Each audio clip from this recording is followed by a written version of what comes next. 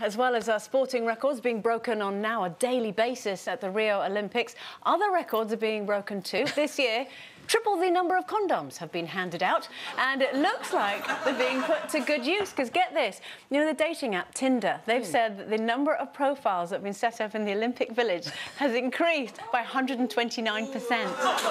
Yeah. So there's a lot of athletes looking for love in Rio. Wow. But, so obviously, you know, they're, they're doing something specific to try and find love. You know, they're, they're setting themselves up on an app. Would, would you go that far? Um, well, before I get to that, yeah. I thought they weren't allowed to you know what while they're competing. Yeah, some of them are finished. Yeah, some of them are won their medals. Yeah. Then they've got to hang around. What they're going to do? And they've got all that energy. They can't go swimming. and they're very fit. They're very they're fit. Very yeah.